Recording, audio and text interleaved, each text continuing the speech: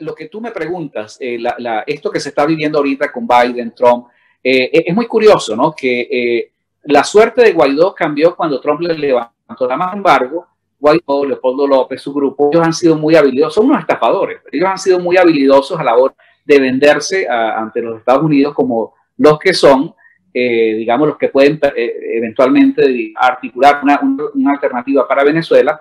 Eh, lo cierto es que Guaidó y Leopoldo López tienen vínculos, por cierto, no con Trump. Ellos fueron muy cuidadosos de no apoyar públicamente a Trump, pero toda su gente, todos los equipos, todos los operadores y la gente que tienen ellos apoyaron públicamente a Biden. Eh, esto un poco para significar, y, lamentablemente, pues también hay que, es importante en el análisis entender que eh, la posición de Trump frente a Venezuela no es la misma que tienen algunos de sus funcionarios. Esto que es una aparente contradicción se explica por el hecho de que a Trump le ha tocado que, mm, o le tocó que gobernar con gente de lo que llamamos el Estado profundo. ¿Qué es el Estado profundo? Es esa burocracia que tiene 30, 40 años eh, anquilosada en, la administración del gobierno norteamericano que genera sus propias maneras de entender la política. A esta democracia pertenece Elliot Abrams, Story, Cossack, el mismo eh, Pompeo, que comienzan a hacer por de esas tesis negociadoras de voluntad popular, de que, bueno, hay que aplicar unas sanciones y esas sanciones deben conducir a un proceso de negociación. Esa negociación va a condiciones electorales y, y unas elecciones donde supuestamente ellos creen que, bueno, pues Leopoldo podría ganar y, y, ser coronado como presidente. Pero esa no es la posición de Trump. Trump entiende la gravedad que hay en Venezuela y, y, eso parte por el reconocimiento de que si esa ruta hipotética que ellos plantean como solución, si esto fuese viable, el resultado va a ser ir a unas elecciones donde el chavismo vuelve a ganar y donde volvemos otra vez al, punto cero. Entonces, eh, Trump no está de acuerdo con eso. Trump está más en la línea dura, eh, que sería la intervención militar, razones sobran, las vinculaciones del régimen chavista con el narcotráfico, las vinculaciones del régimen chavista con Irán, el chavismo eh, quiere que relaciones con Al Qaeda, con Hezbollah,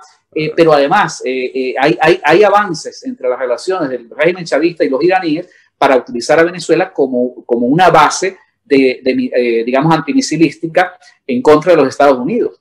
Entonces, todos estos elementos Estados Unidos los conoce, no son secretos.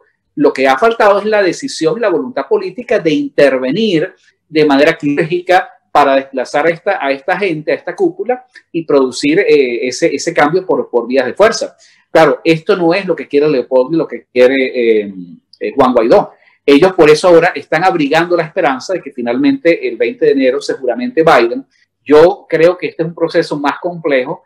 Yo te voy a decir, te adelanto mi opinión, yo creo que todavía que la, fecha, eh, esto que ocurrió el, 14 de diciembre, es un evento en, la, en el largo proceso de juramentar al presidente de los Estados Unidos. Estamos frente a una elección que ha sido cuestionada, no por capricho de Trump, sino con pruebas. Hay más de 2.000 declaraciones juradas de personas que certifican cómo se armó el, fraude.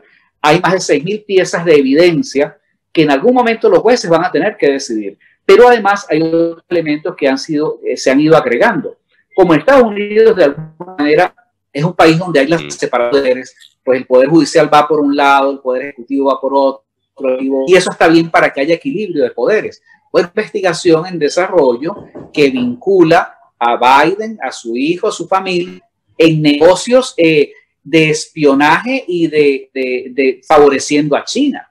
Entonces, eh, yo estuve eh, hace unos días, mandé un tweet, un poco, yo no voy a especular sobre esto, pero eh, hay elementos eh, eh, y hay, hay, reportajes que se han hecho, se preguntan por la qué pasaría si estamos en un 20 de enero y resulta que para el 20 de enero el gran jurado le ha hecho acción a Biden, por ejemplo, por traición a la patria y por espionaje, lo cual no, es, no estoy diciendo una locura. Hay que ver, tú pones Biden en Google y pones Biden China y vas a ver toda una cantidad de elementos que o bien las autoridades en Estados Unidos se hacen de la vista gorda y no se pronuncian o eh, entran en acción y, y, y, vamos a ver una situación bien complicada. ¿no?